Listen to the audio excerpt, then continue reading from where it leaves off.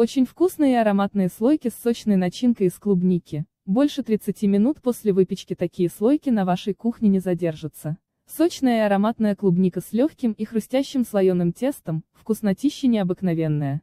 Но съест такие слойки лучше сразу после выпекания и охлаждения.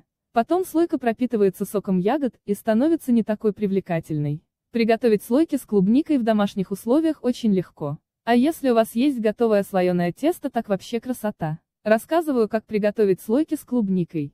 1.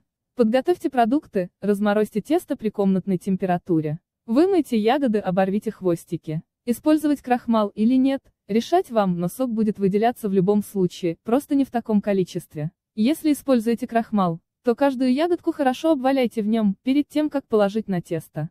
Сейчас я покажу вам несколько способов сделать простые и красивые слойки. Приступим. 2. Способ первый. Разложите тесто на столе, немного раскатайте, тонким делать его не нужно.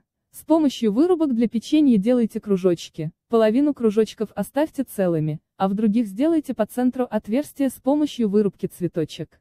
3. Положите ягоды на тесто. 4. Накройте тесто с отверстиями, как на фото. Вилочкой или обратной стороной ножа придавите край. Готово. 5. Второй способ.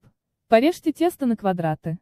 С помощью ножа для пиццы разрежьте тесто, как на фото, два угла, разрезаем до конца, а противоположные два, не дорезаем до конца. 6.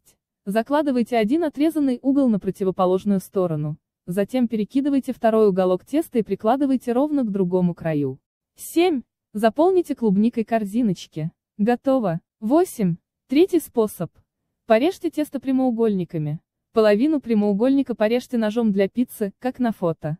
9. На другой край положите ягоды. 10. Накройте порезанной половинкой, прижмите край, оформите его вилочкой. 11. Перенесите слойки на пергамент. Смажьте желтком, присыпьте щедро сахаром. Отправьте в горячую, 220 градусов, духовку на 20 минут. 12. Приятного аппетита!